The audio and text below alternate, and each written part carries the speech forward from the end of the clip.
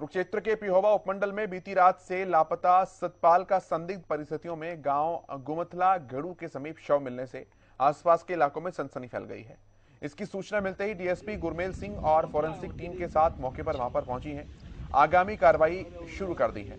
मृतक के परिजनों ने बताया कि मंगलवार देर शाम वो गैस एजेंसी पर अपने फ़ोन लेने के लिए गए थे और जब वापस नहीं आए तो उन्होंने पुलिस में इसकी शिकायत की, लेकिन आज सुबह उनकी मोटरसाइकिल दिखाई दी और थोड़ी ही दूर पर उनका शव भी पड़ा हुआ मिला।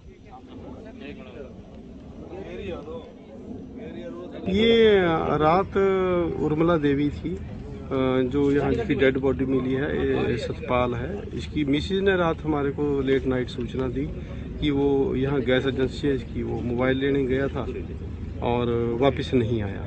हमने रात में ही इसका मिसिंग का केस रजिस्टर्ड हो गया था और उसके बाद सवेरे इनके परिवार से पुलिस ने बताया कि वहाँ उसकी डेड बॉडी है। तो हमने आके निरीक्षण किया है और केस रजिस्टर्ड है ऑलरेडी और उस पर जो हमारी टीम है उन्होंने भी निरीक्षण कर लिया और बॉडी का पोस्टमार्टम करा के जैसी कार्रवाई करेंगे। क्या ये मोटी का बताई जा रही है? अभी कुछ नहीं कह सकते इसके बारे में। अभी तो प्रिलिमिनरी इन्वेस्टिगेशन है और पोस्टमार्टम के बाद ही पता चलेगा।